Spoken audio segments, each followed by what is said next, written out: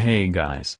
Today we gonna talk about our most famous iPhone 10 Face ID. Apple is launching its new phone named as iPhone 10 in November but do you know how its Face ID works? Well, first of all, basically Face ID have dot projector, ambient light sensor, flood illuminator, proximity sensor, infrared camera etc. But last three is used in Face ID though. So, when your face is in front of the phone, the phone scan your face and create a 3D model and match it with which phone already have. Apple also said that the 3D model of your face is going to store in your phone processor, not in cloud or server.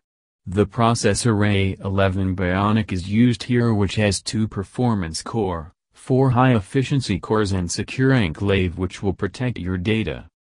And Apple also said chances of unlocking your phone with Face ID is 1 in 1 million, as compared to Touch ID which is 1 in 50,000. Wow. That sound cool.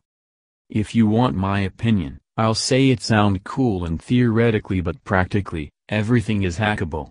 So, I don't think it's completely secure but let's see when phone come in market. That's all for now. Thank you for watching this video.